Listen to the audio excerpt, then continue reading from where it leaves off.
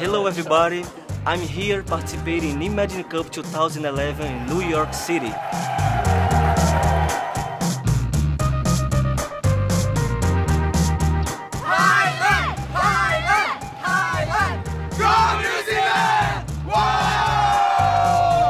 Well, our project is a malaria intelligence system. It's, it's, a, it's a system that fights against malaria, which is one of the world's most deadliest diseases. So we are using state-of-the-art Microsoft technologies and the Azure cloud platform to revolutionize the fight against malaria. It will help the blind people to make their life better. So it will really impact the world. We're bringing to every single kid a personal virtual teacher. Inspired by visiting villages that were suffering through natural disaster and received no help at all. So our solution is that we're going to create a new social media that will connect these people to the volunteers who could potentially help them.